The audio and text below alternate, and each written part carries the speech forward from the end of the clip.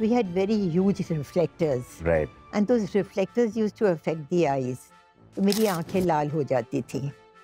People must be People may have thinking- misunderstood. Yeah. Probably she has drink too much, but that was not the case. Once I was shooting continuously for a month. Right. और आँखें इतनी लाल हो गई थी that I refuse to shoot the next day आप जो थी अपने डांसिंग के लिए बहुत नोन थी बट आप किसको एडमायर करती थी एज अ डांसर उस वक्त विजंती माला I used to love her What was it about her that you really thought ke was so special? She was one of the most regal women in our industry. When she used to enter the set, everybody would, you know, go gaga about her. सुना आप अम्रपाली के set पे शमी जी के साथ जी, आपने उनको visit जी। किया था We were shooting next door ji. and he came, he said, let's go.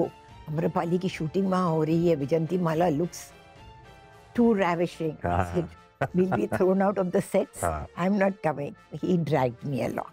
वो एक सर्कुलर से सेट था। तो हम लोग ऊपर से बैठ के नीचे देख रहे थे दोनों। And she had a huge mirror which would come you know जब शॉट के पहले। तो मिरर में से she saw us so Shami ji को तो कुछ बोला नहीं। तो she shouted out Asha naughty girl what are you doing there come down हम दोनों चले गए। तो you are not allowed to come she can sit here तो इस तरह से मज़ाक हुआ था। शम्मी जी ने एक रूमर फैलाया था कि आपकी और उनकी शादी हो गई थी। ये एक बहुत लंबी कहानी है। We were shooting we were shooting in Mahabaleshwar and पता नहीं ओम प्रकाश जी को क्या सूझा उन्होंने कहा इन दोनों की शादी हो गई है। Then there was a party at mister Nasir Hussain place तो उस वक्त यू नो सब बातें कर रहे थे and everybody started whispering said yes we are married वहाँ हमारी देवयानी जी बैठी हुई थी। हाँ। तो उसने सुन लिया बोले y'all are married? I, I didn't know all this was happening. Shami ji ने कहा था आपको डिनाई नहीं करना हाँ, ऐसा कुछ शमी जी ने कहा तुमको तुम कुछ मत बोलो। मैंने कहा ठीक है. That means he was playing a prank Yeah, he was कर playing a prank. And my father left. सबने कहा कि वो चली गई तुम बोलते शादी हुई है। बोले नहीं उनकी मदर को बहुत शौक लगा है इसलिए वो लोग अभी घर गए हैं। Then, I mean, at that time, he was having an affair with somebody.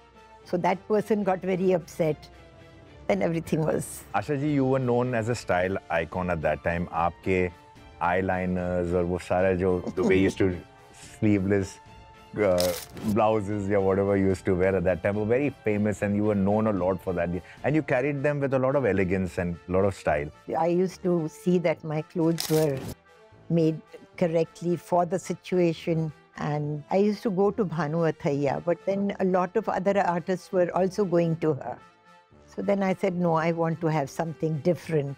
So I asked Lina Daru to do my dresses. you paved the way for the coming actresses also Zina ji and Praveen Bhavi ji in the way you dressed and the styles that they kind of you know they emulated you in some way Well, I thought that they were more modern Uh-huh. than me, but they looked elegant and Yeah. beautiful.